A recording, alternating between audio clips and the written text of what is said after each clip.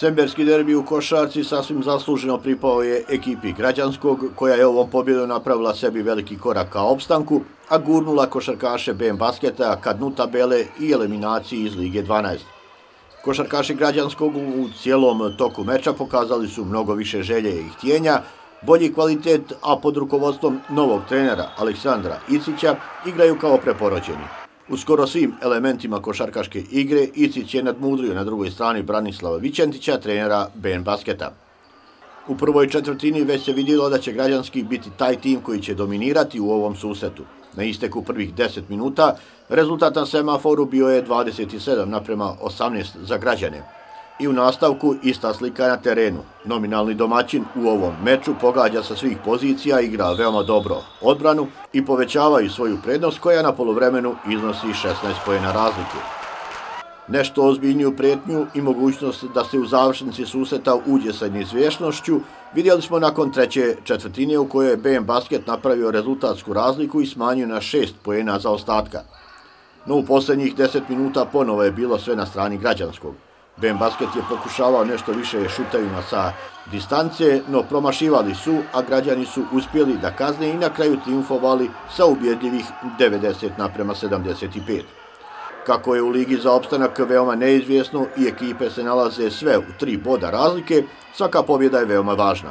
Ovoga puta više želje i znanja imali su košarkaši građanskog, kojima ova pobjeda mnogo znači u borbi za prva četiri mjesta koja garantuju opstanak u Ligi 12 odigrali su sa više energije sigurno nego mi to pokazuje neki broj izgubljenih lopti koje smo mi imali u prvom polovremenu i te nazovi ih ničije lopte koje su mahom završavale u njihovom posledu. Ehm, zaslužena apsolutno pobjeda ekipe građanskog. Nismo, nismo odgovorili sa energijom prvenstveno kako treba. Šta je tu je? Čestam e, pobedniku, nama ostaje da tražimo, da tražimo pobjede u nekim drugim utakmicama.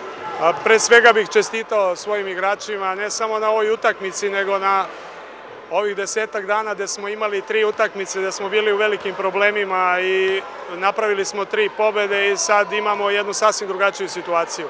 Što se tiče same utakmice, prvo polovreme e, smo završili sa primljeni 30 poena, mada ja mislim da smo napravili tri kiksa gde smo mogli praktično sa nekih 20 do 22 poena da završimo ovaj, ali bi možda bilo i nerealno. Ipak radnik je jedna dobra ekipa i ovaj, ja sam i očekivao da će u drugom vremenu se vrati, ubacili su trojke, rizikovali su i evo sad na kraju ovaj, ipak smo mi odigrali jednu kontrolisanu utakmicu. Možda odbranbeno ne bih mogao budem zadovoljen u potpunosti, ali generalno je sve dobro kad dobiješ tri utakmice za red. Kada je riječ o strijelcima, dvojac građanskog Milan Janjušević i Nemanja Kovačević postigli su po 24 poena, što je više od polovine u ovom susretu koji je postigao njihov tim. Jedini dvocifreni u građanskom bio još Stefan Svitlica, ali je interesantno da su pored njih čak još šestorica ostalih upisali se u strijelce. Kod ekipe BN Basketa najefikasnije bio Bojan Sekicki sa 19 pojena, koš manje dao je Goran Vučićević, a Mujo Tuljković se 13 puta upisao u strijelce. U narodnom kolu BN Basket dočekuje student i za opstanak u ligi neophodne su mu po nekoj računici sve pobjede do kraja šampionata, dok je građanski u nešto povodnjijem položaju, a u narodnom kolu gostuju Tuzli ekipi Slobode.